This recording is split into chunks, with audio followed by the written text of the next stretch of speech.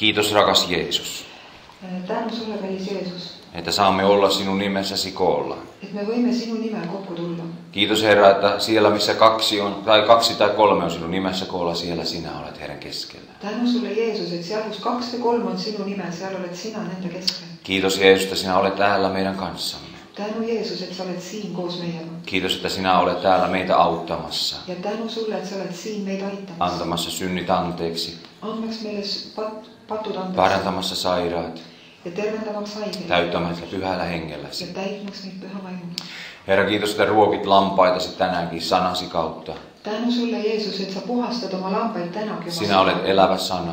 sina oled elas. Sinä olet elämän leipä. sina oled elu leib. Kiitos, että me saamme tänäänkin mannaa taivaasta. tänu, et me võime tänagi saada mannat Herra, anna minulle armo, että voi varustaa tätä seurakuntaasi. issand, anna mulle armu, et ma võiksin nagu varustada seda kogudust Anna viisautta ja taidollisuutta puhua sinun sanasi, ja anna mulle tarkust ja võimekust rääkida. että se rohkaisee ja varustaa seurakuntaasi, et see võiks julgustada ja varustada sinu kogudust vahvistaa sitä ja kinnitada sinu kogudust ja antaa myöskin Herra uutta intoa mennä eteenpäin. ja võiks anda ka uut indu, et edasi minna. Siunaa Herra jokaista. issand, õnnista igat üht. Avaa Herra meidän sydämet. issand, ava meie südamed Täytä se sinun sanallasi. ja täida need sinu oma sõnaga Kosketa pyhällä hengelläsi. ja puuduta meid oma püha vaimuga. Kiitos Jeesus. sulle. Annamme kaiken kunnian sinulle. me anname kogu au. Kaikesta mitä tänään tapahtuu. kõige selle eest, mis täna sünnib. Jeesus rakas. Jeesus Amen. kallis. aamen. Ole hyvä istua.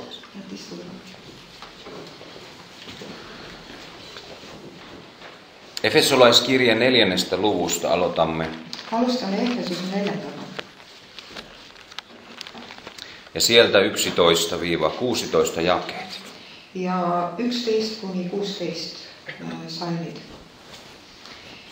ja tema on pannud mõned apostleiks ja mõned prohveteiks ja mõned evangeeliumi kuulutajaiks ja mõned karjaseiks ja õpetajaiks, et pühi inimesi täielikult valmistada abiliste tööle Kristuse ihu ülesehitamiseks.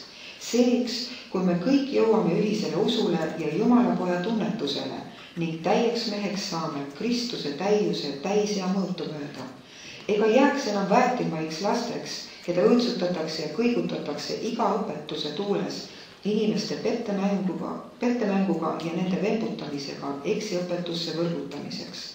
vaid et me tõtt taotledes armastuses kasvaksime kõiges selle sisse, kes on pea, Kristus, kellest kogu ihu on kokku liidetud ja koos hoitakse iga põõluse kaasabil vastavalt iga üksiku liikme tegevusele tema mõõdu järele ja kes teeb, et ihu kasvab enese ülesehitamiseks armastuses. Just. Amen. Tässä on annettu seurakunnan eri virkaa hoitaville henkilöille tehtäviä, et siin on üles loetletud siis koguduse eri ametite ülesanded joista puhutaan yhteisellä nimellä, ja neist räägitakse ühe nimega, että tekisivät pyhät täysin valmiiksi palveluksen työhön, et nad valmistuksid siis pühad äh, täiesti ette äh, teenimistööle Kristuksen ruumiin rakentamiseksi. ja Kristuse ihu ülesehitamiseks. Ja mä haluan tänään puhua jotain sellaista, joka toivon, että se olisi tämän tehtävän mukaista. ja ma tahaksingi täna rääkida sellest, mis siis äh, vastab siis sellele üleskutsele siin. Haluan puhua jotain lähetysnäystä, Mm, ma tahan rääkida ühest äh, nägemusest, missiooni läkitusest ja siitä, mitä lähetysihmeitä tapahtuu. ja milliseid äh, imesid sünnib. Jotain sellaista, mitenkä Jumala haluaisi antaa meille jokaiselle näyn. ja see on midagi sellist, mida Jumal tahab meile igale ühele anda. Ja kuinka meillä pitää olla tällainen halu saada näkyy. ja kuidas me võiksime olla sellised, kes igatsevad nägemust Ja haluan jotakin asioita Jeesuksen palvelutehtävästä puhua, ja siis, siis ma tahaksin rääkida mida natuke Jeesuse teenimistööst, joka voi auttaa sinua näkemään tai sin- saamaan tämän näyn janon sydämeesi. ja mis võib aidata sind, et sa võiksid selle igatsuse saada südamesse. Matteuksen evankeliumin yhdeksännessä luvussa Matteus äh, evangeeliumi üheksandas peatükis luetaan 35-38 jakeet. kolmkümmend viis kuni kolmkümmend kaheksa. Ja Jeesus käis läbi kõik linnad ja külad, õpetas nende koguduse kodades ja kuulutas Jumala riigi evangeeliumi, parandas kõike tõve ja kõike viga. aga kui ta rahva hulki nägi, oli tal hale meel nende pärast, sest nad olid piinatud ja vintsutatud otse kui lambad, kellel ei ole karjast. siis ta ütles oma jüngritele, lõikust on palju, aga vähe töötegijaid. Paluge siis lõikuse issandat, et ta läkitaks töötegijad välja oma lõikusele. Amen. Tässä kohdassa me nähdään, kuinka Jeesus ö, kulki, toimi ja kiersi ympäri. Eh, siin me nägi, näeme, kuidas Jeesus äh, käis nagu läbi kõik linnad Ja hän saarnasi Jumalan valtakunnan evankeliumia. ja ta kuulutas Jumala riigi evankeeliumi. Ja siellä hän sanoi, paransi kaikkinaisia tauteja ja kaikkinaista rainautta. ja siin siis öeldakse, et ta parandas kõike tõve ja kõike viga. Mutta siellä sanotaan 36 jakeessa, aga kolmekümne kuuendas äh, salmis öeldakse, että nähdessään kansan joukot hänen tuli heitä sääli. et kui ta nägi rahva hulki, oli tal hale meel nende pärast. Kun hän näki kansan joukot, kui rahva hulki, niin se vaikutti Jeesuksen sydämessä. siis se Jeesuse südant Ja hänelle tuli sääli.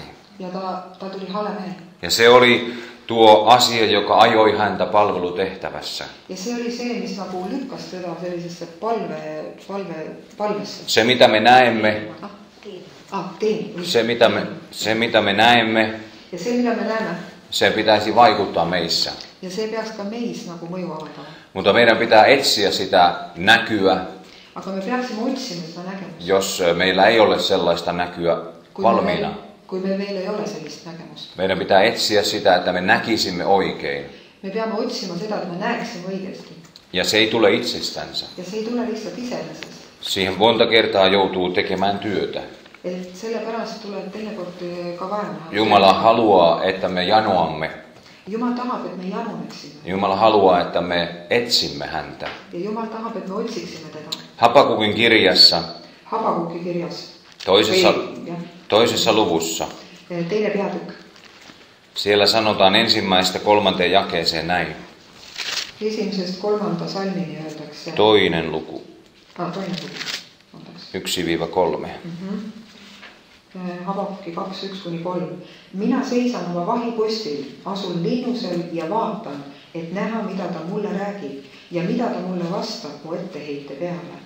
ja Jehova vastas mulle ning ütles, kirjuta üles nägemus ja tähenda selgesti lauakeste peale, et see, kes seda loeb, võiks joosta. sest nägemus ootab küll oma aega, aga ta ruttab lõpu poole ega peta mitte kui ta viibib, siis oota teda, sest ta tuleb kindlasti ega kõhele mitte.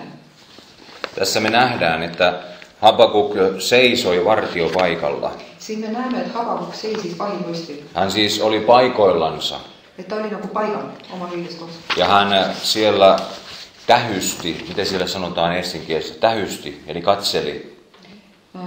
vaatas, valvas. Hän oli siellä paikallansa ja odotti ta oli seal paigal ja ootas ja hän etsi nä- katsellansa, nähdäksensä, mitä Herra puhuu. ja ta otsis nagu ringi või vaatas ringi, et näha, mida Jeesus on või mida Je- issand räägib. Mitä Herra vastaa hänen valitukseensa. et kuidas Jumal vastab tema etteheidete peale. Tässäkin Jumala oli vaikuttanut Habakukin sydämessä, et siingi Jumal oli nagu öö, öö, mõjutanud Habakuki südant. Että hän oli alkanut etsimään Jumalaa. nii et ta hakkas otsima Jumalat. Joku tuska oli tullut Habakukin sydämeen. mingi mure või, või selline kurbus oli tulnud tema südamesse. Joku murhe ja huoli siitä ympärillä olevasta elämäntilanteesta, see mure ja hoolimine sellest öö, olukorrast, mis tema ümber oli siitä minkälaisessa tilassa kansa eli. ja, ja millises olukorras tema rahvas elas. Se oli aiheuttanut Habakukissa toimintaa. Ja see hakkas nagu mingit tegevust või see hakkas nagu tegutsema. Ja hän meni ja asettui vartiopaikalle. ja ta läks oma vahipostile. Hän oli paikallansa ta oli omal kohal ja tähysti, katseli, etsi, ja siis niimoodi oma pilguga otsis, että hän näkisi, et ta näeks, että hän näkisi, mitä Herra hänelle haluaa puhua. et ta näeks seda, mida Jumal tahab talle Ja rääkida. miten Herra puhui? ja kuidas Jumal rääkis? Herra puhui näyn kautta. Jumal rääkis nägemuse kaudu. Herra antoi hänelle näyn nägemuse ja käski kirjoittaa ja piirtää selvästi näky tauluihin, että sen voi juostessa lukea. ja ta ütles talle, et kirjuta üles see nägemus ja tähenda selgesti lauakeste peale, et see, kes seda loeb, võiks joosta. Aivan samalla tavalla Jeesus kun vaelsi. et samamoodi kui Jeesus siin käis, Hän näki, hän katsoi ympärillensä. siis ta vaatas ümberringi, Hän katsoi kansanjoukkoja jotka tulivat hänen luoksensa. Kun tuo tieto oli saavuttanut kansan joukot, ja kui kun se tieto oli saavuttanut kansan joukot, ja kui see rahvas oli kuulnud seda että Jeesus on tullut pelastamaan ja parantamaan, et Jeesus on tulnud öö, päästma ja että ne ihmiset, jotka kärsivät, ja need inimesed, kes siis olid vaevas, ne ihmiset, jotka olivat masentuneita, masendunud inimesed, ne ihmiset, jotka olivat pimeyden vallan alla, inimesed, kes olid pimeduse vägede all olivat epäjumalan palveluksessa, ebajumalate Noituudessa. nõiduses, kaikenlaisessa pahassa. Koko kansa oli perkeleen vallan alla. öö, rahvas oli nagu kuradi Ja tämä murehdutti Jeesusta. ja see nagu pani Jeesust öö, muretsema Ja Jeesus katsoi kansan joukkoja ja Jeesus vaatas neid ja hän näki. Ja ta nägi Hänen sydämensä piirtyi näky näistä kansan joukoista. ja tema südamesse tuli nägemus nendest rahvahulkadest Aivan samalla tavalla kuin Habakuk. samamoodi nagu Habakukki. Jumala antoi Jeesukselle näyn. Jumal andis Jeesusele ühe nägemuse Ja hän halusi kohdata kansan joukot ja ta tahtis ja julistaa sitä ilosanomaa. Ja anda edasi neile seda rõõmusõnumit. Ja hän tiesi, että tämä tehtävä on mahdoton hänen yksin toteuttaa. ja ta teadis, et on võimatu tal üksinda seda teha Ja hän silloin sanoi opetuslapsillensa, ja ta siis ütles oma jüngritele, eloa on paljon, mutta työmiehiä vähän. et lõikust on palju, aga töötegijaid on vähe Rukoilkaa elon Herra, että hän lähettäisi työmiehen elon korjuuseensa. ja ju, palvetage Jumala poole, et ta lähetaks välja, saadaks välja öö, töötegijaid. Meidän pitää nähdä, meidän pitää antaa Jumalan vaikuttaa sen kautta, mitä me näemme. ja me peame lubama Jumalal mõjutada meid selle läbi, mida me näeme Ja antaa se vaikuttaa sillä tavalla, että meillä tulee hätä näistä ihmisistä, jotka ovat ympärillämme. ja lubada ennast mõjutada nii, et meil tuleb nagu mure või, või, või vaev nende inimeste Että meidän sydämemme saa murtua. et meie süda võiks murduda Ja että meistä tulee niitä lähetystyön tekijöitä, ja et meist tuleksid need saadikud, joita Jumala haluaa meistä tehdä. sellised saadikud, millised Jumal meist tahab teha. Jokainen opetuslapsi, jokainen Jeesuksen seuraaja iga jünger või iga Jeesuse järgija on samalla myös lähetystyön tekijä. on samamoodi ka saadikuks. Tänä päivänä on yli seitsemän miljardia ihmistä. tänasel päeval on üle seitsme miljardi inimese Ja tänä päivänä niistä seitsemästä miljardista ihmisestä ja tänasel päeval nendest seitsmest miljardist inimesest on jonkun laskelman mukaan vähän yli kaksi miljardia ihmistä, ja on mõnede arv, arvutuste järgi kuskil üle kahe miljardi inimese, jotka väittävät olevansa kristittyjä. kes väidavad end kristlased olevat. Näistä yli kahdesta miljardista kristitty nimeä kantavasta ihmisestä Neist kahest miljardist kristlasen nime kandvast inimesest noin puolet on katolilaisia ja nimikristittyjä. on umbes pooled katoliiklased ja nimekristlased Eli noin miljardi ihmistä ehk siis umbes miljard inimesi. kenties ovat oikeasti kristittyjä, uudesti syntyneitä. et loodetavasti või ehk on äh, õigesti ristitud või uuesti sündinud kristlased. Sen perusteella noin kuusi miljardia ihmistä et äh, selle arvutuse järgi siis kuus miljardit inimest on tänäkin päivänä matkalla kadotukseen. on teel tegelikult äh, hukatusse. Noin kuusi miljardia ihmistä on tänä päivänä vailla Jeesusta. et kuues, kuus miljardit, miljardit inimest on Jeesusest nagu lahus. Ja jos he kuolisivat tänä päivänä, ja kui nad sureksid tänasel päeval, jos eivät he kuule pelastussanomaa, et kui nad ei saa kuulda äh, päästesõnumit, he menevät ihan kaikki se ero Jumalasta. siis nad oma igaviku lahus Ja tämän pitää piirtyä meidän silmiimme. Ja see peaks nagu joonistuma meie silme ette. Tämä näky pitää piirtyä meidän silmiimme, rakkaat ystävät. see nägemus või see pilt peaks nagu meie silme Sen pitää antaa koskettaa meidän sieluamme ja sydäntämme. see peaks puudutama meie hinge ja meie südant. Sen pitää antaa vaikuttaa meissä. me peaksime laskma see nagu äh, mõjuda meis. Että vaikka tuo kaikista toiveikkaan laskelma, että 2,2 miljardia olisi kristittyjä, vaikka se pitäisi paikkansa, että, et, et kui see peakski koma kaks miljardit äh, kristlast, niin sen laskelman mukaan 4,8 miljardia ihmistä menee kadotukseen. Siis äh, selle arvutuse järgi neli koma kaheksa miljardit inimest läheksid hukatusse. Se on hirveä määrä. see on, see on äh, hirmus. Joka päivä kuolee noin 155 000 ihmistä. iga päev sureb kuskil sada viiskümmend viis tuhat inimest. Joka päivä noin 155 000 ihmistä. iga päev sada viiskümmend viis tuhat inimest. Ja niistä 88 000 menee kadotukseen. ja kaheksakümmend kaks tuhat läheb hukatusse. 88. kahde, kaheksakümmend kaheksa tuhat. 4000 ihmistä kadotukseen joka tunti. neli tuhat inimest läheb hukatusse iga tund. Joka tunti, kun tänä päivänä me istumme täällä. iga tund, iga päev, kui me istume siin Minä saarnaan sinulle yli tunnin tänään. ma räägin, ma jutustan sulle täna võib-olla üle tunni Niin sinä aikana yli 4000 sielua menee kadotukseen. ja sellel, selle ajaga läheb neli tuhat inimest hukatusse. Tämän pitäisi sytyttää meidän sydämessämme jotain. See peaks, see, see info peaks kuidagi süütama meie südant. Matteuksen evankeliumista me katsomme Matteuse evangeeliumi ruokkimisihmeestä. äh, siis sellest äh, söögimehest või see toit, toitlustamise mehe. Matteuksen evankeliumi 14 luvussa Matteuse neliteist on tämä kertomus, joka on 13-21 jakeissa. Äh, on siis kolmteist kuni kakskümmend üks salm. Mutta me emme lue sitä nyt kokonaan. et me ei loe siit kõike Mutta jos sinulla on raamattu, niin voit ottaa rinnakkaiskohdaksi myöskin Johanneksen evankeliumin kuudennen luvun, aga kui su piibel on kaasas, siis võta endale kõrvale üks ki- see kirjakoht Johannese kuusi luku, ja siellä se on myös 1-15 jakeissa kerrottu. ja see on siis üks kuni viisteist. Ja me katsomme joitakin asioita näistä, koht- näistä jakeista. Ja me vaatame mõningaid kohti nendest äh, kirjakohtadest. Ja näistä mä haluan kertoa sen, että siellä me näemme Jeesuksen toiminnasta kolme erittäin tärkeää asiaa, ja siin me näeme Jeesuse tegevusest kolme tähtsat või olulist momenti jotka vaikutti hänen sydämessänsä. ja need on, äh, mis puudutasid tema südant sügavalt. Ja kuinka meidän tulisi omata nämä asiat myöskin voidaksemme saavuttaa kadotettuja sieluja. Ja meilgi peaksid need asjad olema meie südames, et me võiksime jõuda kadunud hingede juurde Ja tuodaksemme heidät Jumalan armoon, ja võiksime nad tuua Jumala armolle parantumiseen äh, tervenemiseks ja vapautumiseen. ja vabanemiseks.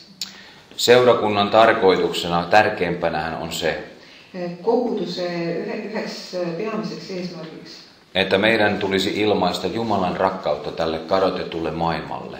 On see, et me peaksime edasi andma Jumala armastust selle maailma Että me olisimme tämän maailman valo ja tämän maailman suola. et me oleksime selle maailma valgus ja sool. Maailmassa me olemme suolana maailmas me oleme soolana ja valona. ja valguseks. Ja niin kuin Matteuksen evankeliumin viidennessä luvussa tästä sanotaan. ja nii nagu Matteuse viiendas evangeeliumis öeldakse, Ja meidän tulisi olla maailman keskellä heijastaaksemme Kristuksen valoa et me peaksime olema äh, maailma keskel, et, äh, et edasi anda Kristuse valgust. ollaksemme hänen suolanansa mausteena tämän maailman keskellä. et me oleksime soolaks selle maailma keskel. Ei me ole täällä sitä varten, että me saastuisimme ympärillä olevasta maailmasta, me ei ole selleks siin, et meie saaksime mustaks või saastut, saastuksime kuidagi sellest vaan maailmast. Herra, Herra varoittaa meitä siitä. aga Jumal hoiatab meid sellest, Varjele itseäsi, ettei maailma sinua saastuta.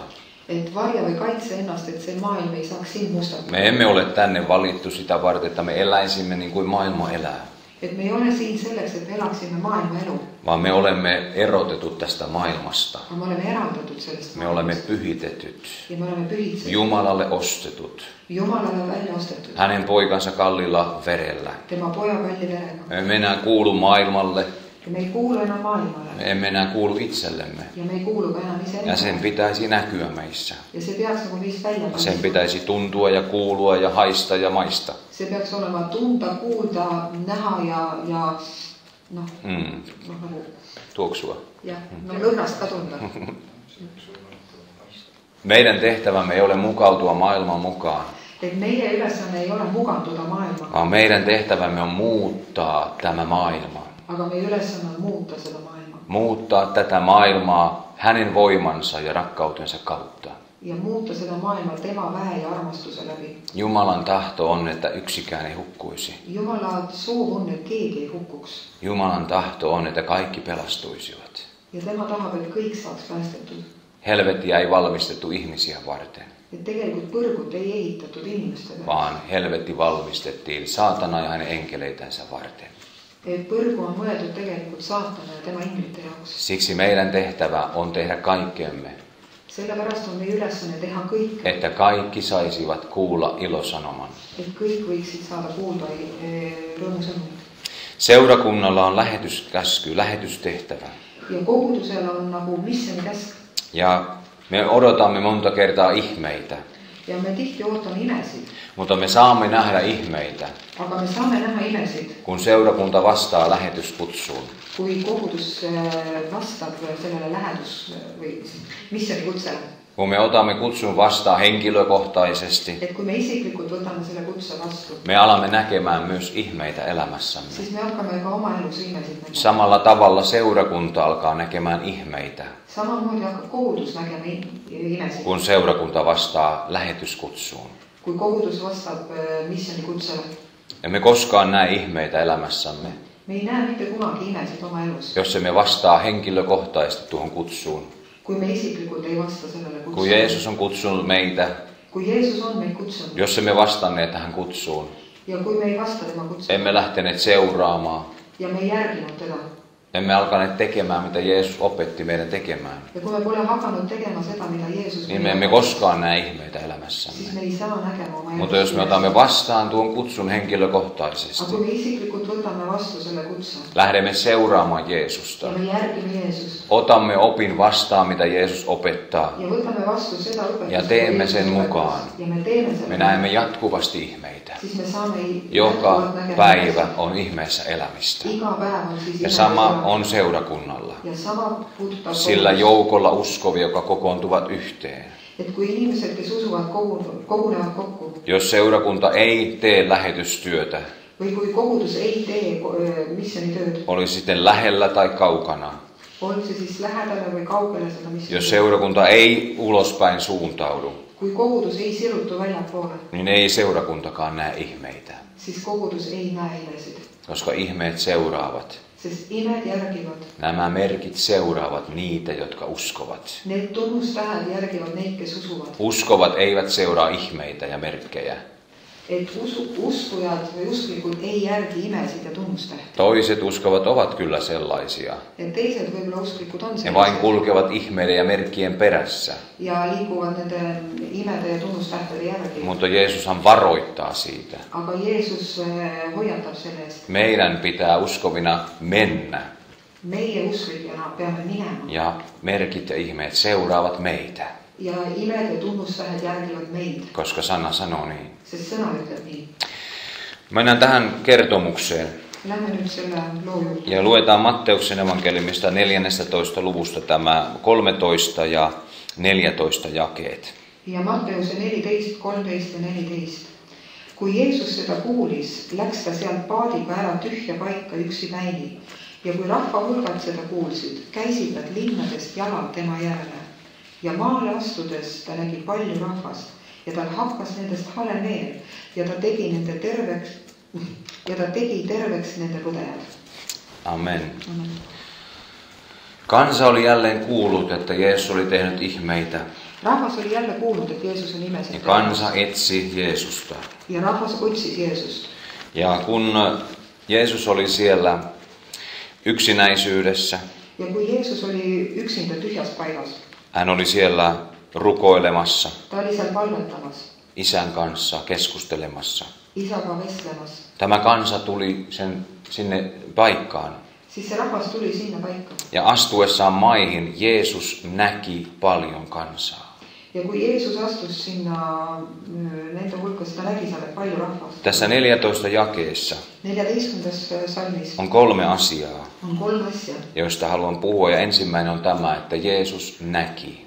Ja ma tahan neist rääkida ja esimene asi oli see, et Jeesus nägi. Jeesus näki aina ihmiset siellä, missä hän kulki. Jeesus nägi alati seal inimesi, kus tema oli Ja hän ei ainoastaan nähnyt ja ta mitte ainult ei näinud, niin, että hän vain katsoi näin, mitte nii, et ta lihtsalt noh vaatas. Että hän, hän katsoi vain ylimalkaisesti tästä ohitse noin, että oho, siellä on näin ihmisiä. seal on nii palju inimesi. Vaan hän näki niin, että hän katsoi suoraan siihen tilanteeseen niitä ihmisiä. Ja hän otti vastaan sen, mitä hän näki. ja ta võttis vastu seda, mida ta nägi. Koska Jeesus tuli etsimään ja pelastamaan sitä, joka oli kadonnut. Niin hänen katseensa ei ollut vain sellainen kuin me katsomme johonkin seinälle.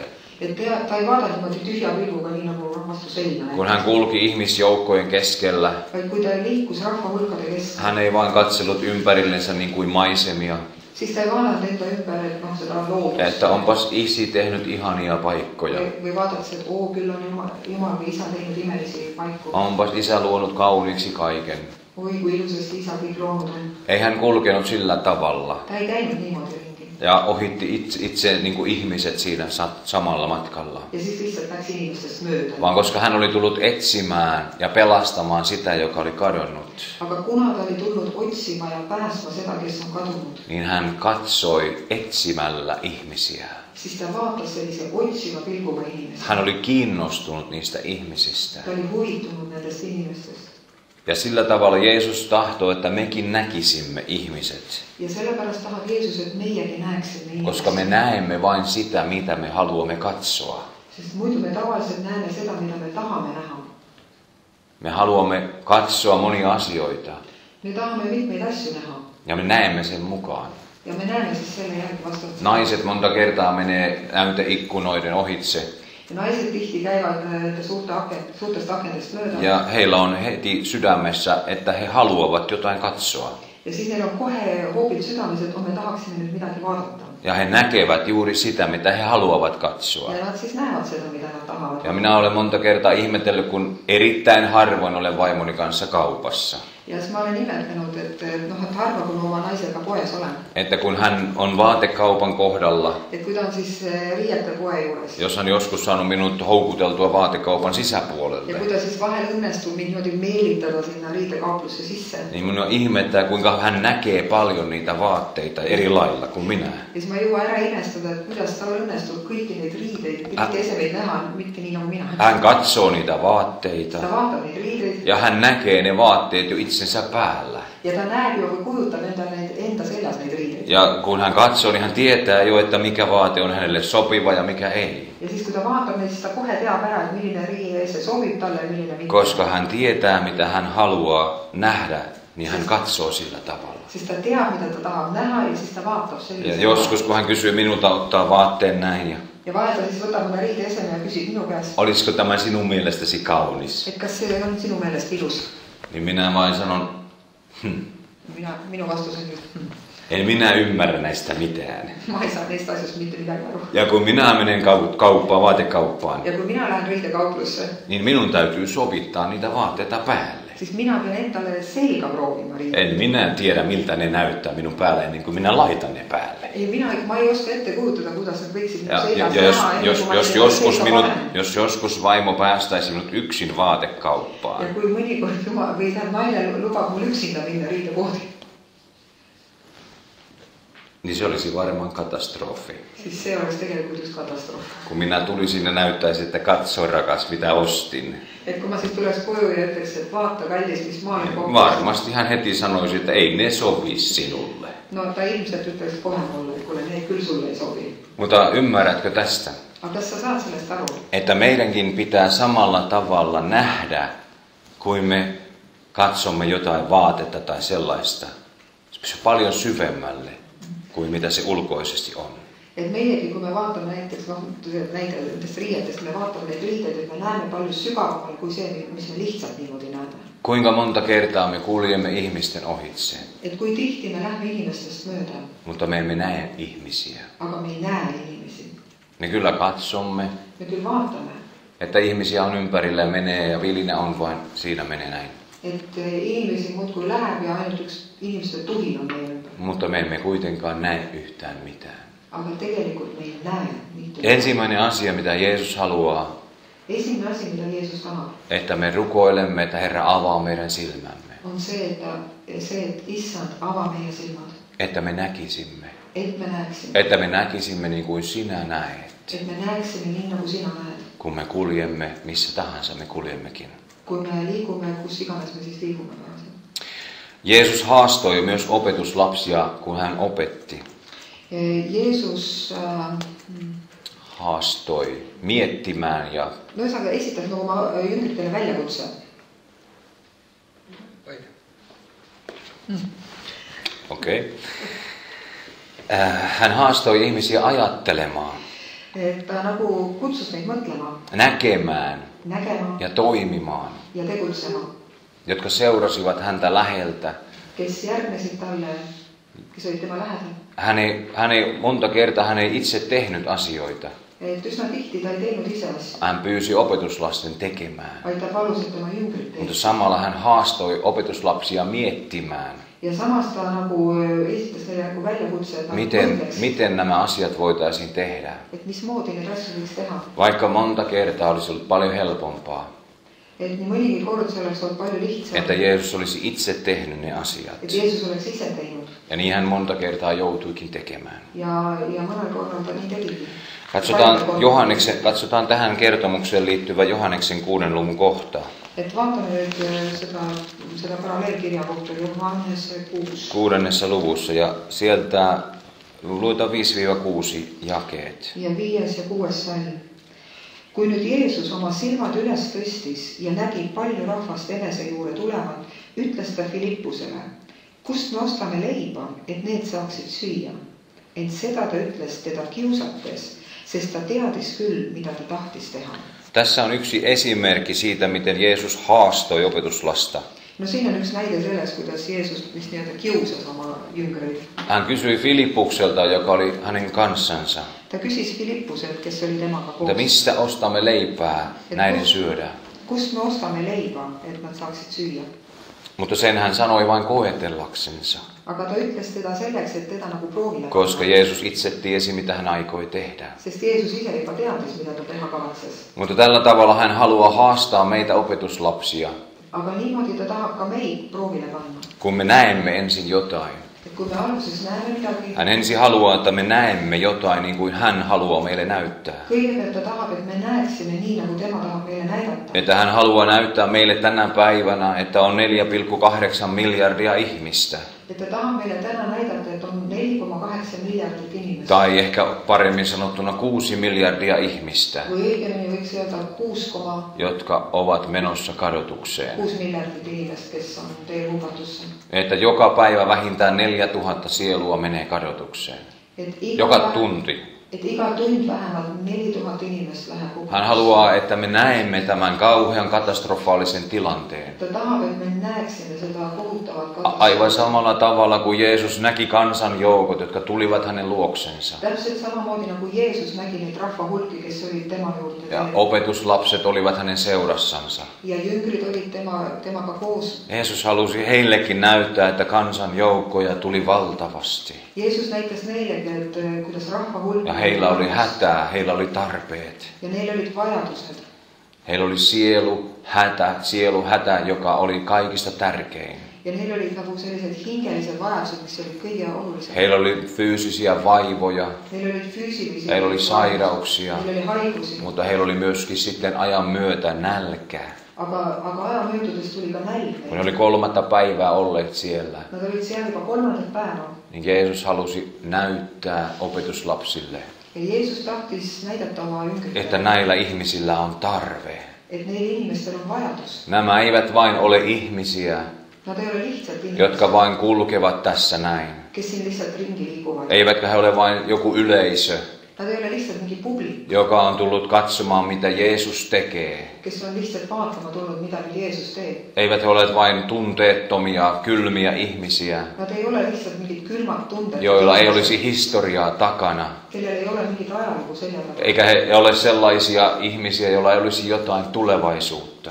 Ega ei ole ka sellised inimesed, kellel ei ole tulevikku. Jokaisen ihmisen sydämessä oli historia kirjoitettuna. iga inimese südamesse oli üks ajalugu kirjas. Jokaisen ihmisen sisällä oli tarina. iga inimese sees oli üks lugu Ja jokaisesta ihmisestä Jeesus välitti. ja, ja Jeesus igast inimesest. koska Jeesus kuoli joka ainoan ihmisen puolesta. Jeesus iga inimese pärast. Tämän kaiken Jeesus halusi näyttää ja opetuslapsillensa. seda kõike Jeesus. Ja kun pieni tällainen murhe tuli tietoon, ja kui, kui nagu selline väike mure nagu esile että heillä oli nälkä, et neil oli nälg, niin Jeesus haastoi opetuslapsista Filippuksen ajattelemaan. Siis Jeesus nagu, nagu noh, kiusas või noh, ta lihtsalt nagu välja ah, õhutas jah Filippust mõtlema, Että miten hän ratkaisisi tämän ongelman. et kuidas tema lahendaks selle probleemi. Ja kysyi häneltä, mistä ostamme leipää näiden syödä. ja ta küsis, et kust me ostame leiba, et nad saaksid süüa. Se oli jo paljon, että Filippus alkoi miettimään.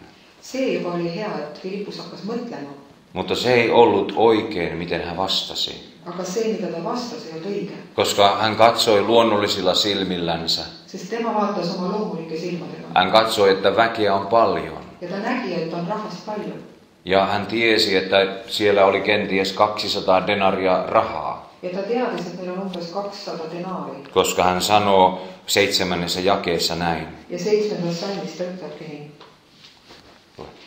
Filippus vastas talle, leibu kahesaja teenari eest ei jätku neile, et igaüks natukesegi võtaks.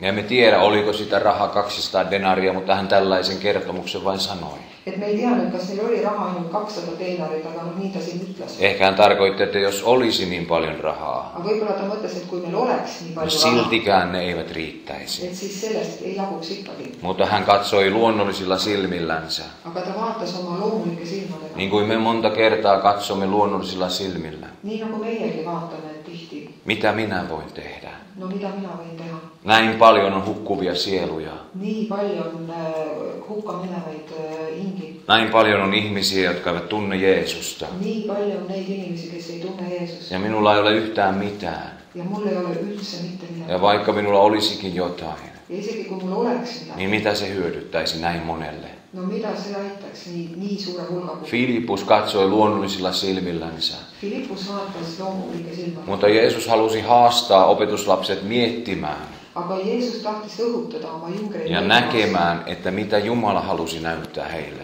ja et nad näeksid, mida Jumal tahab näidata. Andreas oli myös siellä. Andreas oli ka seal Ja Andreas näki jo niin kuin Jumala tahtoi. ja Andreas nägi nii, nagu Jumal tahtis. Andreas lähti etsimään vastauksia. ja Andreas läks otsima vastuseid. Andreas meni kansanjoukon keskelle ja alkoi kyselemään, Andreas läks rahvahulkade keskele ja hakkas küsima, olisiko jollain edes vähän ruokaa. et kas on kellelgi kas või natukenegi süüa. Olisiko jollain jotain, jota voitaisiin ottaa ja jakaa toisille. et kas oleks kellelgi midagigi, et seda võtta ja Ja hän löysi pienen pojan, ja ta leidis ühe väikse poisi, jolla oli viisi ohraleipää ja kaksi kalaa. kellel oli viis leiba ja kaks kala Ja silloin pienen pojan usko ja siis selle väikse poisi usk oli vilpitön usko. ja see oli selline vahetus Ne oli kenties koko hänen perheensä eväät. Ja need võib-olla olid terve tema perekonna need nagu raasukesed või? Mitä, toiduvarud, mitä pieni poika olisi tehnyt viidellä leivällä ja kahdella kalalla? no mida üks poiss võiks teha viie leiva ja kahe kalaga? Sen täytyy olla eväät koko perheelle. see pidi olema tema pere toiduvaru Ja tämä pieni poika, ja siis see väike poiss hänellä oli sydän, joka oli vilpitön. ja tal oli selline siiras süda Ja hän antoi kaikki eväät, ja ta andis kogu selle varu, kun Jumalan poika Jeesus pyysi. kui Jumala poeg Jeesus palus. Hän antoi kaikki, mitä oli hänen ja hänen perheellensä varattu. Antoi uskoen, että Jeesus voi tehdä niiden kautta mitä vain. ja selle usus, et Jeesus võiks teha selle kaudu midagi. Tämä oli sitä uskoa, see oli usk, mitä Jumala haluaa herättää meissä. Mida Jumal tahab meiski Tämä on sitä lapsenomaista uskoa, on joka näkee Jumalan silmillä. kes näeb Jumala silmadega. Minulla on vain pienet eväät, mul on ainult väikesed varud, mutta jos minä nämä eväät annan suurelle Jumalalle,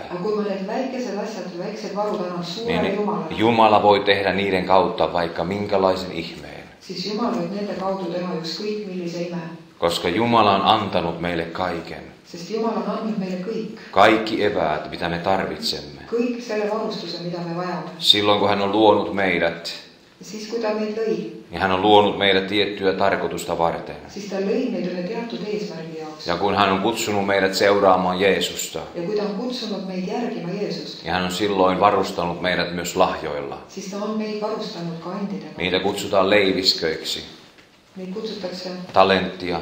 talentideks Ja ne talentit on meille kaikille annettu. ja meile kõigile on need talendid antud. Toisille on annettu vähemmän, toisille enemmän. mõnele vähem, mõnele rohkem. Mutta ne ovat sitä varten, että me luovutamme ne Jumalan käteen. aga need on selleks, et me annaksime need üle Jumalale. Ja annamme hänen tehdä niiden kautta, mitä hän tahtoo. nii et tema võiks teha nende kaudu seda, mida tema tahab. Meidän tulee nähdä, me peame nägema niin kuin Jumala tahtoo meidän nähdä. nii, nagu Jumal tahab, et me näeksime. Ja sen tähden meidän tulee antaa Jumalan vaikuttaa sen näkemisemme kautta. ja sellepärast me peame laskma Jumalal nagu Matteu- selle nägemise kaudu. Matteus 14, 14, me menemme takaisin siihen. Lähme tagasi Matteuse neljateistkümnendasse.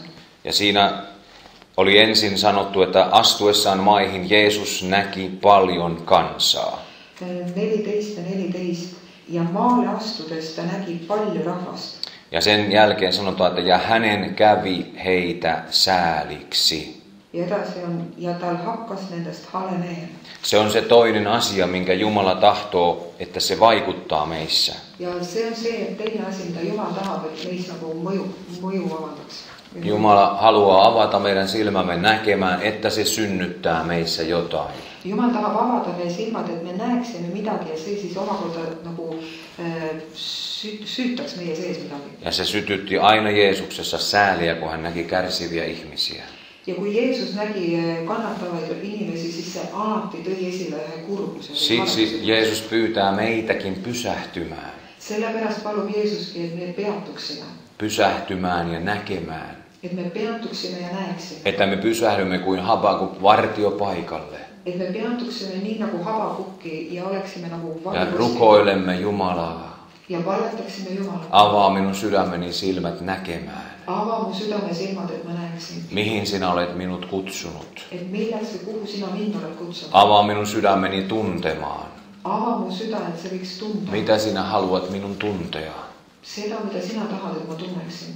Että minä seison niin kauan tässä vartiopaikalla, et ma seisan nii kaua sellel vahipostil, että sinä annat minun nähdä. kuni ma lõpuks näen, Että minun sydämeni tauluun piirtyy näky.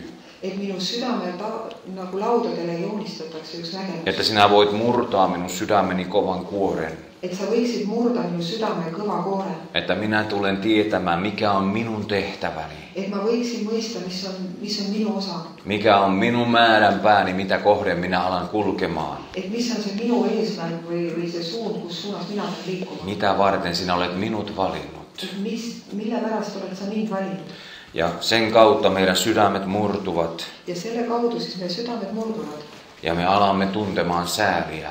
Ja me hakkame tundma kurbust, Meille tulee tuska sieluista et meile tuleb nagu nende hingede valu ja me olemme valmiit tekemään mitä tahansa. ja me oleme valmis tegema mida iganes, Antamaan kaikki eväämme. et anda kõik see, mis meil on, Antaa kaikki mitä minulla on.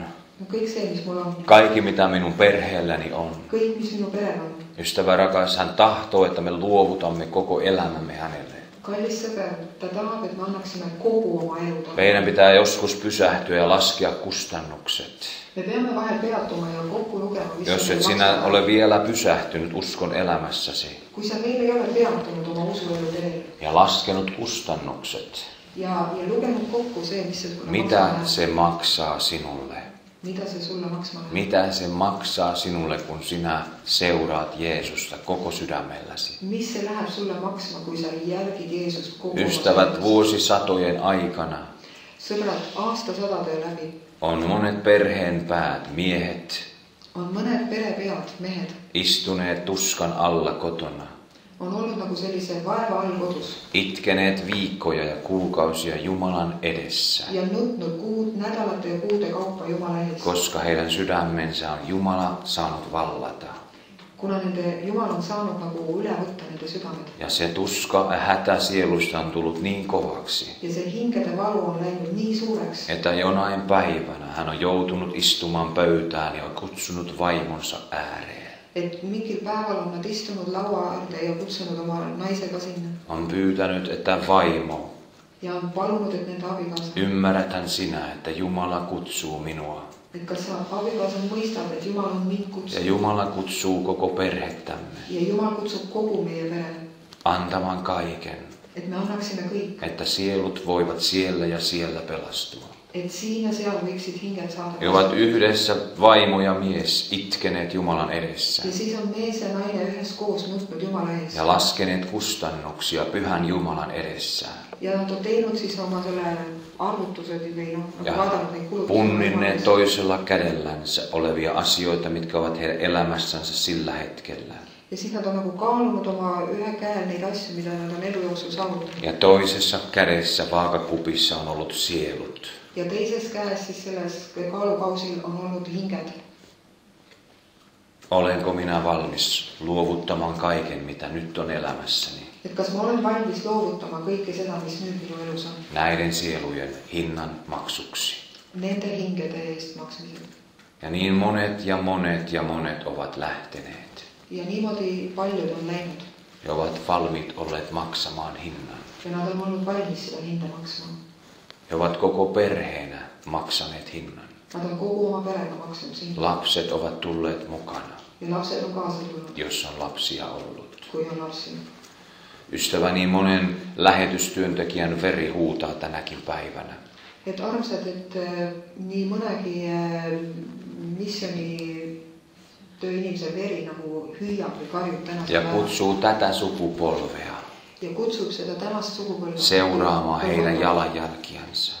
järgima nende jalajälgi. Rakas ystävä, Jeesuksen veri Kolkatalla huutaa kallis Jeesuse veri kolgatalla hüüab kaikkien sielujen tähden kõikide hingede pärast ja kutsuu meitä seuraamaan häntä. ja kutsub meid järgima teda. Me monta kertaa kuljemme ihmisten ohitse. et äh, tihti me lähme. Sinun ja minun lähetyskenttä voi olla lähellä. Sinu ja minu missioonipõld võib olla väga Se lähedal. voi olla siellä, missä sinä elät. see võib olla kus sa elad, Se voi olla siellä, missä sinä asut ja teet työtä. see võib olla seal, kus sa oled või paikned või teed tööd. Mutta lähetyskenttä on joka puolella. et missioonipõld on igal pool, Mutta me monta kertaa olemme niin kuin pappi tai leeviläinen, aga tihti me oleme nii nagu see preester või leviit, joka kulkee ohitse, kun siellä on mies, joka on hakattu ja ryöstetty ja vuotaa verta. kui seal maas lamab mees, keda on pekstud ja röövitud ja, ja veri.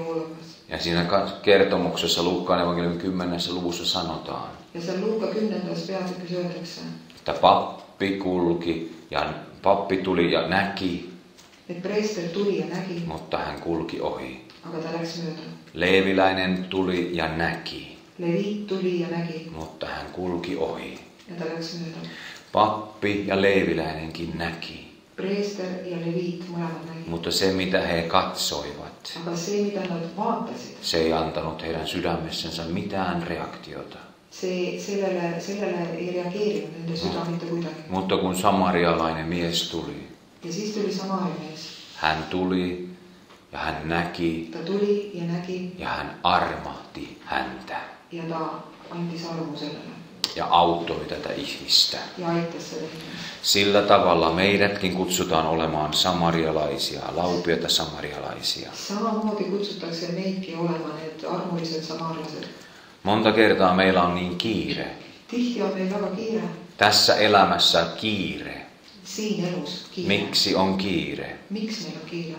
Kun sinä valitat, että sinun on kiire. kui sina kurdad, et sul on kiire Kun sinä koet, että on stressiä elämässä. ja kui sa tunned, et sul on elus stress, Kenen tähden se kiire on? siis mille pärast ja kelle pärast see kiire on? Kenen vuoksi sinä juokset? kelle jaoks ja kelle pärast sa jooksed? Miksi sinä kannat stressiä? miks sa kannad endas seda stressi, Ketä sinä palvelet? keda sa teenid? Jos sinulla ja minulla on kiire, kui sinul või minul on kiire, ainoa hyväksyttävä syy, siis ainus, ainus see vabandus on, että se kiire on evankeliumin tähden, on see, et see kiire on evangeeliumi pärast, sielujen tähden. et see kiire on hingede pärast. Mutta koska me elämme itsellemme, aga kuna me iseendale, kaikki kiire johtuu siitä, että me teemme työtä tai elämme niin, että me saamme itsellemme jotain. Siis see kiire on sellepärast, et me elame iseendale, et me teeme tööd selleks, et iseendale midagi saada. Eikö ole totta? on nii või? Jos sinä olet rehellinen, niin sinä sanot, näin se on. kui sa oled aus, siis sa ütled, et nii ongi. Mutta onko se Jumalan mieleistä? aga on see Jumalale meelepärane? Onko meidän kiireemme Jumalan mieleinen? on meie kiirus Jumalale meelepärane? Meidän kiireemme pitäisi olla sen tähden, että evankeliumilla on kiire. Meie kiirustamine võiks olla sel-, sellepärast, et evangeeliumil on kiire. Että sielut saisivat pelastua. et hinged võiksid saada päästetud. Ja kun me näemme niin kuin Jeesus näki, ja kui me näeme nii, nagu Jeesus ja nägi kun me alamme kokemaan sitä, mitä Jeesus koki, ja kui me hakkame nagu kogema või tundma seda, mida Jeesus tundis, niin me alamme myöskin näkemään tuloksia. siis me saame nägema ka tulemusi.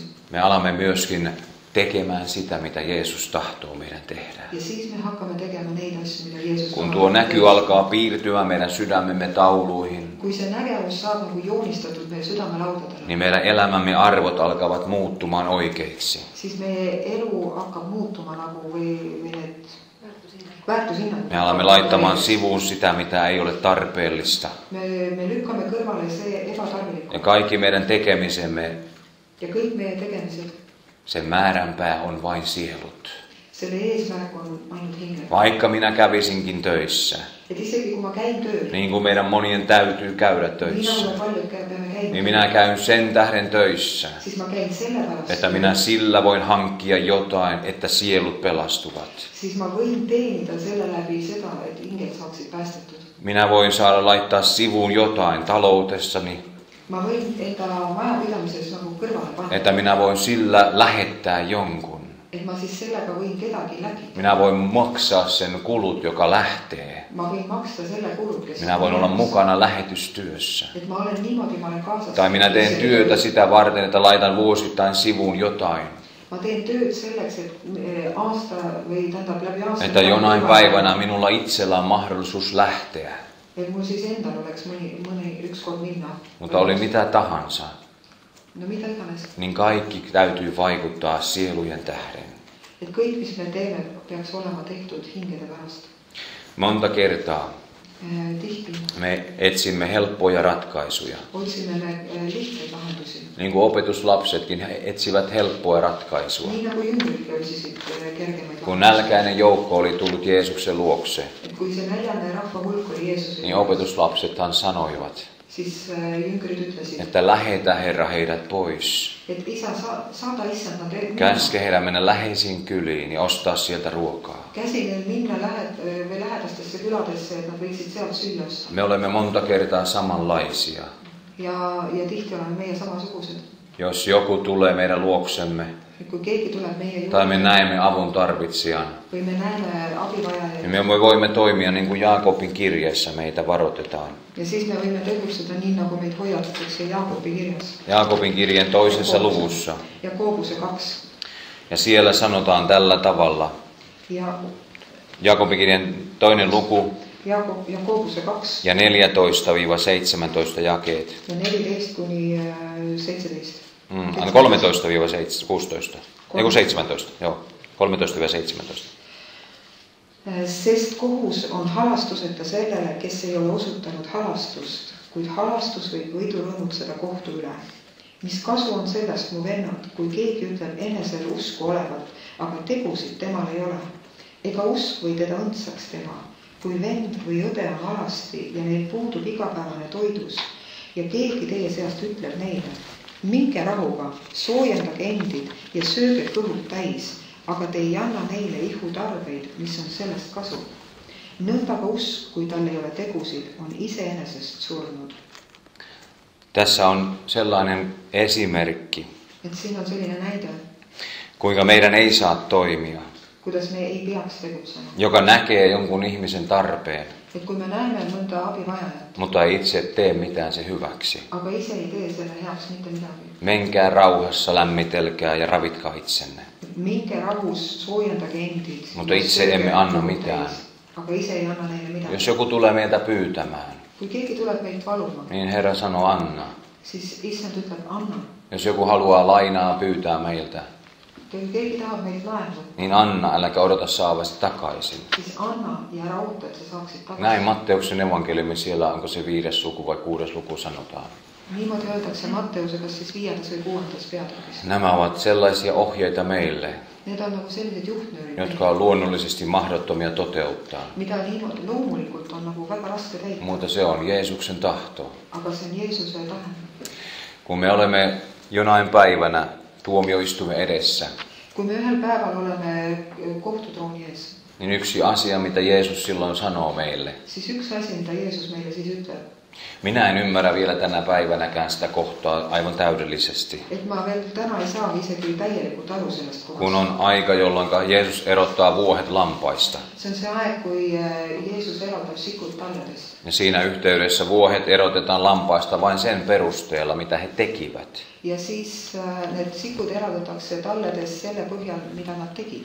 Koska toisille hän sanoo, että te annoitte minulle syödä, teistele te mulle te annoitte minulle juoda, te mulle kävitte minua katsomassa, kun olin vankeudessa, te olin te otitte minut luoksenne, kun oli outo, ja tulite minu juurde, kui oli ja te kävitte katsomassa, kun oli sairas. ja te käisite vaatamas, kui ma olin Ja opetuslapset ihmettelevät, milloin Herra me näimme sinut olevan sairas tai vankeudessa tai nälkäisenä ja niin ja poispäin. siis siin kõik küsivad, et issand, et millal sa olid haige ja millal me nägime sind olevat näljas ja, ja hädas ja edasi. Ja Jeesus vain vastaa heille, ja Jeesus vastab neile, että sen minkä olet tehnyt yhdelle näistä minun vähimmistäni veljistä, olet tehnyt minulle. Et see, mida sa oled teinud öö, ühele minu väiksemaist vendadest, seda sa oled teinud Ja sitten hän sanoi, menkää isäni siunatut ja siis ta ütles, et minge Jumala ja õnnistatud omistakaa Jumalan valtakunta. ja, ja võtke endale Jumala Mutta toisille niille, jotka ovat vuohiksi kutsuttuja, hän sanoo, aga keda sikkudeks te ette antaneet minulle juoda, te ette antaneet minulle syödä, te ette käyneet minua katsomassa, te ette vaatettaneet minua niin edespäin. te ei andnud mulle süüa, te ei andnud juua, te mind vaatamas, te ei riietanud mind ja nii edasi. Ja he ihmettelevät, että milloin me näimme sinut ja sillä. nemad küsisid samamoodi, et millal me nägime sind Ja silloin Jeesus vastaa, ja siis Jeesus vastab, kaiken mitä te jätitte tekemättä yhdelle näistä veljistä, et kõik, mis te jätsite tegemata ühele neist Ühele näistä pienistä. neist väikestest vendadest, niin sen te jätitte tekemättä minulle. seda te jätsite tegemata minule. Kysymys oli vain tekemisestä. et tege-, küsimus oli tegemises. Mutta mä ymmärrän Jaakobin kirjeen kautta, aga me saame Jaakobuse kirjast aru, että usko ilman tekoja on kuollut. et usk ilma tegudeta on surnud. Niin kuin Jaakob Jeesuksen veljenä sanoi meille, nii nagu Jaakobus Jeesuse vennale että jos sinä sanot, että sinä uskot, et kui sa ütled, et sa usud, niin näytä sinun uskossa sinun teot. siis näita oma usu kõrval oma tegusid Niin minä näytän tekojeni kautta sinulle uskoni. ja siis ma näitan tegude kaudu sulle usku. Hän sanoi, että riivaajatkin uskovat, että Jumala on yksi ja vapisevat. Ta ütles, et isegi kurjad vaimud usuvad, et Jumal on üks. Jaakobi haastaa meitä, että onko todella se usko, mitä me sanomme omistavamme, oikea uskoa. ja Jeesus nagu, nagu küsib, et kas see usk, mida me omame, kas see on nagu tõeline usk. Koska jos me uskomme, et kui me usume, niin usko on aina antamassa hedelmää. siis usk annab alati vilja. Usko antaa hedelmää aina. usk annab alati vilja. Me kannamme hedelmää ja silloin me rakastamme lähimmäisiä. Silloin me autamme lähimmäisiä. Ja ystävä, mä ymmärrän sen näin, että ne ovat vain kuolleita uskovia, jotka joutuvat vuohina tuomittaviksi. mõistetakse. Ne eivät ole koskaan tulleet uskoon, Nad ei ole kunagi tulnud usku tai usko on kuollut heissä. või usk on siis surnud nendes, Koska eihän muuten Jeesus tuomitse tekojen perusteella. sest muidu vastasel juhul Jeesus ei Eihän- hukka neid äh, tegude Eihän põhjal. me tekojen perusteella ansaita mitään, sest tegelikult tegude alusel me ei saa mitte midagi, vaan pelastus tulee armosta. sest pääste tuleb armuga, Mutta teot ovat merkkinä siitä, että me olemme tulleet armosta osallisiksi. Aga teod on nagu tunnustäht sellest, et me oleme saanud armu osalisteks. Mutta tämä on vakava kohta meille. aga see on üks selline tõsine koht meie jaoks Siksi meidän tulee olla kuuliaisia, mitä Herra puhuu meidän sydämelle. sellepärast me peame olema kuulekad sellele, mida Jumal meie südamesse räägib. Kolmas kohta, mikä Matteus 14.14 14 jakeessa on. kolmas koht öö, Matteuse neljateistkümnendas peatükis Siinä sanottiin, että kastuessaan maihin Jeesus näki paljon kansaa ja hänen kävi heitä sääliksi. Ja sitten kolmas asia, ja hän paransi heidän sairaansa. et Jeesus nägi palju rahvast ja tal hakkas neist olema ja kolmas asi on siis see, et ta tegi terveks nende põdejad. Jos me näemme niin kuin Jeesus tahtoo meidän näkevän, kui me näeme nii, nagu Jeesus tahab, et me näeksime, se alkaa vaikuttamaan meissä. Siis hakkab avaldama mõju Se tuo, tuo meille sydämeen murtuneisuuden. ja see murrab nagu meie südame. Se antaa meidän sydämen säälin. see toob nagu kurbuse meie südamesse. Ja se alkaa vaikuttamaan meissä tahtomista ja tekemistä. ja see hakkab mõjutama meie taht, meie tegemisi. Niin kuin Jeesuskin näki kärsivän kansan. nii nagu Jeesus, kui ta nägi seda öö, Se murti hänen sydämensä. siis see murdis tema südame. Ei hän jäänyt toivottomana siihen tilanteeseen, aga ta ei jäänud nagu sellisesse lootusesse, vaan, lootusetusesse, vaan hän alkoi toimia. Vaid ta algas, alustas, läks tegutsema. Hän ensin paransi sairaat. Ta kõigepealt tervendas haiged, ja sitten hän teki ruokkimisihmeen. siis ta tegi selle söötmisime, Hän otti ne pienen pojan eväät, ta võttis selle väikese poisi kiitti isää niistä, siunasi ne leivät, tänas isat ja õnnistas, mursi ne. murdis ja luotti isään, ja lootis isale, että näistä riittää. et nendest piisab. Ja hän antoi opetuslapsille, että opetuslapset jakoivat ne näille ihmisille. Näin samalla tavalla meidän täytyy ottaa leiviskämme käyttöön. Talenttimme käyttöön. Se on sama se leiviskä talentti. Samalla tavalla sen, mitä me olemme saaneet Herralta. Samamoodi kõik see, mis meie oleme saanud. Me kiitämme siitä. me täname selle eest Me siunaamme nämä. ja õnnistame seda Annamme ne Herran käteen ja anname need Jumala kätte. ja katsomme, mitä hän tekee. ja siis vaatame, mida tema teeb. Kun Herra on vaikuttanut meissä näkemisen, kui Jumal on nagu mõjutanud seda nägemust se vaikuttaa meissä sääliä. Siis see toob esile ühe kurbuse. Se vaikuttaa meissä tahtomista ja tekemistä. see mõjutab meie tahtmist ja meie tegutsemist. Ja sitten me toimimme. ja siis me tegutseme. Mutta ensimmäinen asia, mikä meillä täytyy tapahtua, aga esimene asi, mis peab meie, meis sündima, ilman sitä ei mikään näistä toisista asioista tapahdu. ilma selleta ei ühtegi järgmist asja. Meidän täytyy pysähtyä. Meidän täytyy pysähtyä vartiopaikalle. Se voi olla sinulla kotona siellä se rukoushuoneesi. see võib olla sul kodus sinu palvekambris. Se on, voi olla seurakunnassa rukoushuone, see võib olla koguduses mõni, mõni palvepaik johon rukoilemaan tulee seurakunnan väki. või kui kogu kogudus palvetab. Joko sinä etsit omaa näkyäsi tai seurakunnan kanssa yhteistä näkyä. Kas sa siis otsid oma nägemust või otsid sa koos kogudusega kogudusele Ja nägemust? sinä olet kotona tai seurakunnassa. kas sa siis oled kodus või oled sa Se koguduses? täytyy pysähtyä sa pead peatuma odottamaan Herraa, ja ootama Jumalat, että mitä hän haluaa puhua sinulle. et mida ta tahab sulle siis rääkida. Mikä on se näky, minkä hän haluaa näyttää sinulle ja minulle. milline on see nägemus, mida ta tahab näidata sulle või meile?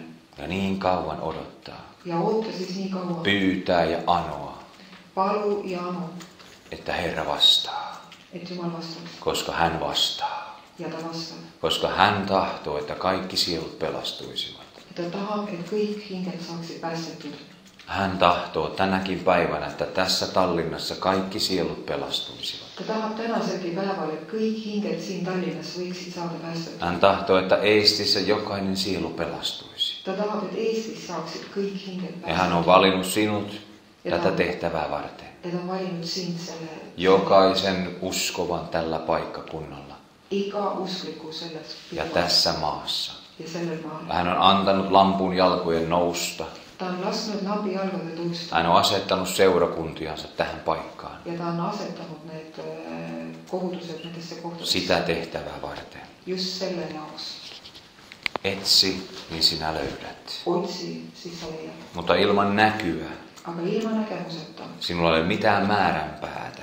sul ei ole ees Et tiedä, minne sinä olet menossa. ja sa ei tea, mis suunas minna. No täytyy olla joku kohde, mitä kohden sinä menet. sul peab olema mingi suund, mis suunas sa Täytyy olla tavoite, mitä sinä tavoittelet. sul peab olema üks eesmärk, mida sa siis Näky voi kasvaa. see nägemus võib Nä, muutuda näky voi muuttua matkan varrella. ja see nägemus võib muutuda sinu teekonnal Näky voi jopa vaihtua. Ja nägemus võib ka vahetuda, Mutta aina pitää etsiä näkyä. aga me peame kogu aeg otsima seda nägemust. Maailmassakin me tiedämme, maailmaskin me teame, että ihmiset asettavat tavoitteita. et inimesed panevad nagu eesmärgid paika. Joka vuosi tavoitteita. iga, igal aastal pannakse Tai jotain suunnitelmia vuosien päähän. Ja tehakse nagu plaani aastate Samalla tavalla meillä uskovina on oltava joku määränpää, mitä kohden me mennään. samamoodi peab olema meil usklikel mingi, mingi siht. Tänä vuonna, Herra, minä tahdon nähdä viiden ihmisen pelastuvan. täna või sellel aastal, Jumal, ma tahan näha, et viis inimest saab Se voi olla sellainen näky, joka tulee vain sinun sydämeesi sellaisena tunteena. See võib olla selline nägemus, mis tuleb mingi nagu tundena. Joku voi kokea, että minä rukoilen, anna minun tänä vuonna nähdä viiden ihmisen pelastuvan. mõni võib palvetada, et issand, anna mulle, et ma võin näha, et viis inimest saab. Ja kun sinä alat rukoilemaan ja ja pyytämään, kui sa hakkad siis palvetama ja niin sinun sydämesi muuttuu sen näyn siis mukaiseksi. sinu süda muutub selle nägemusega Ja järgi. kun tammikuu on mennyt, ja kui jaanuar on möödas yksikään sielu ei ole pelastunut, ja ükski hing ei ole veel päästetud niin sinä rukoilet yhä vain enemmän ja enemmän. siis enam ja enam Helmikuu tulee, yksikään sielu ei ole vielä pelastunut. Sinä vain rukoilet ja rukoilet. siis Maaliskuu tulee, yksikään sielu ei ole vielä pelastunut. Sinä olet jo polvillasi ja rukoilet enemmän ja enemmän, siis koska sinulla on sydämessä näkyy, on että minä tahdon nähdä viiden sielun pelastuvan tänä vuonna. Herra, vie minut niihin paikkoihin. Ohjaa minut sinne. Johdata ihmisiä minun luokseni. Minä tahdon nähdä viiden sielun pelastuvan. inimest saab Ja kun huhtikuu tulee, ja siis äh, aprill niin sinä päätät, minä paastoan. Minä paastoan tässä kuussa. yhtäkkiä sinä alat näkemään. Sielu pelastuu. Toinen pelastuu. Kolmas pelastuu. Neljäs pelastuu. Ja viides pelastuu. ja sinä olet vasta lokakuussa. ja sa oled alles a- a- oktoob- oktoobris Se oli se sama mikä eilenkin. okei okay. oktoober Ja kaksi kuukautta on vielä aikaa. ja siis on veel kaks kuud aega Ja yhtäkkiä sinä huomaat, että sinulla on niin valtava jano ja nälkä sielujen pelastumisesta. Että sinä pyydät anteeksi Herralta. Sa palud Jumalat Anna anteeksi, minä pyysin vain viittä sielua tänä vuonna. anna andeks et ma tänavu pa- palusin ainult viite Mutta vielä on kaksi kuukautta aikaa. aga veel on kaks kuud aega Anna minun nähdä enemmän pelastuvan kuin pyysin. et luba et ma võiksin veel rohkemgi näha inimesi päästetud Ja Herra antaa sinulle enemmän kuin mitä sinä osasit ja siis sulle sa Ja marraskuussa pelastuu viisi sielua. ja Ja joulukuussa pelastuu kymmenen sielua. Ja detsembris kümme Ja seuraavana vuonna sinä pyydät, anna Herra minun nähdä sata sielua pelastuvan. ja järgmisel aastal sa palud juba et issand anna mulle sada hinge Halleluja. halleluuja Aivan tällä tavalla Herra voi vaikuttaa näyn jonkun sydämeen. nägemust Se voi olla vain pieni sana see võib olla ainult üks väike sõna tai pieni ajatus, või väike mõte pieni tunne. väike tunne Ei sen tarvitse olla jotain valtavaa. see ei pea olema midagi väga suurt Jollekin se voi tulla, että se on jotain valtavaa. mõnele võib tulla ka suur nägemus Mutta sinulla ja minulla täytyy olla näky. aga sinul ja minul meil peab Ja se näky muuttaa meidän sydämet. ja see nägemus muudab meie südameid Ja se alkaa muuttamaan meidän elämäämme. ja see hakkab muutma meie elusid Aivan samalla tavalla kuin yksi pieni poika. Täpselt samamoodi nii nagu ühe väikse poisiga Oli kerran seurakunnan tilaisuudessa. et ta oli ühes koguduses Se oli jossain tuolla Afrikan maassa. see oli Aafrikas kuskil Ja siellä oli valtava tarve ja seal oli tohutu vajadus nähdä sielujen pelastumisen. Äh, vajadus või igatsus näha enda Seurakunta päästmist. oli saanut valtavan janon sielujen ja pelastamiseksi. see kogudus oli saanud tohutu ja nagu janu Ja hingedega kun sieluja oli alkanut pelastua, ja kui hingi hakkas sai pääst- või tähendab kui hinged hakkasid päästele tulema niin seurakunnalla tuli ongelmia. siis tekkis üks probleem olukord Mihinkä me laitamme kaikki nämä sielut? et kuhu me need hinged paneme kõik Missä me pidämme kokouksia? kus me neid koos Missä me opetamme? kus me õpetame neid Missä me pidämme näitä rakkaita sieluja opetuksen alla? Et kuidas me need armsad hinged nüüd kõik selle, selle õpetuse alla Ja siellä seurakunnan pastori itki pö- tuota kansan edessä. ja siis see koguduse pastor nuttis rahva Ja Jumala oli piirtänyt hänelle näyn sydämeen. nägemuse. Hän oli nähnyt jo kauan sitten, että sieluja tulee pela- pelastumaan isoin joukoin. Hän oli kauan vuosia kantanut tätä näkyä sydämessään. Ja nyt kun hän oli alkanut näkemään, että jo ääni kuuluu, sateen ääni kuuluu, siis sieluja oli yksitellen alkanut pelastumaan, ja siis niin hän tiesi, että nyt on näky alkanut toteutumaan. Mutta hän ei jäänyt siihen tilanteeseen, vaan hän tiesi, että tämä on vasta alkua. Ja hän meni näyn mukana eteenpäin. ja hän tiesi, että nyt pitää rakentaa uusi seurakuntarakennus. Nyt me tarvitsemme uudet tilat. Meidän pitää laajentaa. Ja sen tähden hän itki pöntössä, kun hän puhui. ja vuodatti sydämensä seurakunnalle. Sille pienelle joukolle, joka silloin oli vasta paikalla. siis Ja pyysi kaikkia osallistumaan. võtaksid Hän jakoi oman näkynsä seurakunnalle, että seurakunnalle se tuli näkynä myös. Hän kutsui ja haastoi jokaista panostamaan niin paljon kuin itse vai voi. ja ta kutsus, kutsus üles inimesi nagu panustama oma iseenda käest või iseendast. Laskemaan kustannukset, mitä sinä olet valmis maksamaan näiden sielujen tähden. ja samas vaatama üle, et mis see neile maksma läheb. Siellä oli tuommoinen pieni poika. ja seal oli üks selline väike poiss, Ehkä se oli viisivuotias, võib-olla viieaastane. Tämä pieni poika kuunteli. ja see väike poiss kuulis Ja Jumala mursi tämän pienen pojan sydämen. ja Jumal nagu murdis selle väikse poisi südame Ja hän sanoi, ja ütles, Herra, minä tahdon antaa kaiken. ütles, issand, mina tahan anda kõik, Mitä minä voin tehdä, mida võin mina teha, että rakennus tulee valmiiksi? et see ehitus võiks valmis Että saada. sielut, jotka pelastuvat, saavat tulla kotiin, et need inimesed, kes saavad päästetud, et nad võiksid jossa heitä voidaan ruokkia. kus neid võiks toita Ja pieni poika sai sydämelle ja see väike poiss sai südamesse oman näkynsä. oma nägemuse Ja hän alkoi toteuttamaan sitä. ja siis ta hakkas seda ellu viima Ja eräänä aamuna kuului ovelta koputus. ja ühel hommikul oli uksele üks koputus Isä ja emä, isäntä ja emäntä, isäntä ja rouva avasivat oven. ja siis äh, mees ja naine või nad avasid Ja näkivät pienen pienen pojan siellä, ja nad nägid ukse taga väikest poissi, joka ojensi kätensä. kes sirutas välja oma käe Kädessä oli pieni kynä.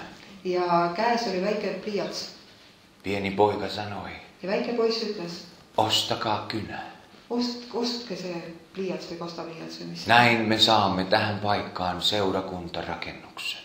Et siis me saame oma koguduse hoone ehitada. Jumala tulee pelastamaan sieluja paljon tällä paikkakunnalla. Jumal saab päästma palju inimesi Ja me tarvitsemme uuden rakennuksen. ja me vajame uut hoonet. Ostakaa tämä kynä. ostke see pastapliiats. Ja häneltä kyyneleet vuotivat silmistään. ja tal pisarad voolasid silmist Ja nämä vanhemmat ostivat tämän kynän. Ja need vanemad inimesed, need. Se maksoi kaksi penniä sillä paikallista valuuttaa. see maksis äh, kaks penni seda kohalikku valuuta järgi. Ja kun se oli maksamassa se isä sitä kynää, ja kui siis see isand maksis selle pastapliiatsi ja hän näki, että pienellä pojalla oli kädessä kyniä muutama kymmenen. ja siis ta nägi, et poisil oli käes veel mingi kümmekond pliiatsit Hän mietti ja siis ta mõtles ja kysyi, ja küsis, miten sinä pieni poika kuidas sina, väike poiss, voit kuvitella, võid nagu üldse ette kujutada, että sinä voit hankkia näillä kynän myynneillä rahat